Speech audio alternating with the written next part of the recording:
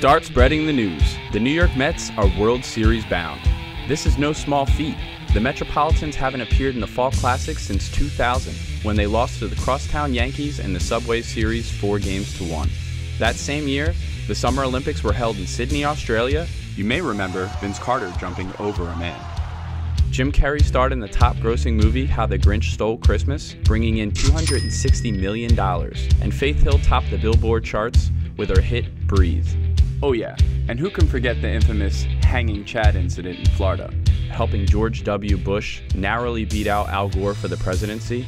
Speaking of presidents, the Mets haven't won a World Series since the Reagan administration, 1986 to be exact. Earlier that year, Tom Cruise made us all want to be fighter pilots in Top Gun, and Oprah became a household name as The Oprah Winfrey Show made its debut. In the sports world, 20 year old Mike Tyson defeated Trevor Berbick to become the youngest heavyweight boxing champion ever, and the Chicago Bears won Super Bowl 20 while also teaching America to do the Super Bowl shuffle.